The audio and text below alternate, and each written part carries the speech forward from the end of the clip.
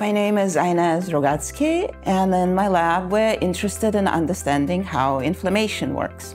We work with macrophages, a cell type which is supposed to fight infection as the main player in the inflammation field. What we do in the lab, trying to understand this sort of inflammation conundrum. On the one hand, we want to know how we can specifically target those inflammatory genes to turn them off. On the other hand, we want to understand how can we make an anti-inflammatory macrophage? How can we direct or instruct or program the cell to really become an anti-inflammatory cell?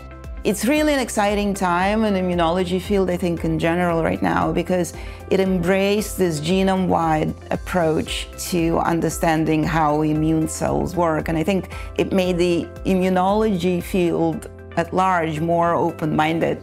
HSS combines um, the best of both worlds. It's a really nice environment to collaborate. We talk to each other, we know what everybody is doing. On the other hand, we have this incredible environment outside of our walls, right? We interact with Cornell, we interact with Memorial Sloan Kettering, with the Rockefeller. So this is pretty unique.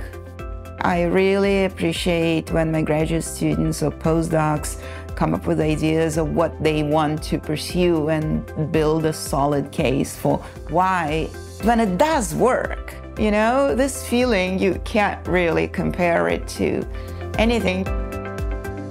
I think it's even better when things go in the opposite direction and you get a result which is diametrically the opposite of what you predicted. And it really opens your eyes to so many possibilities.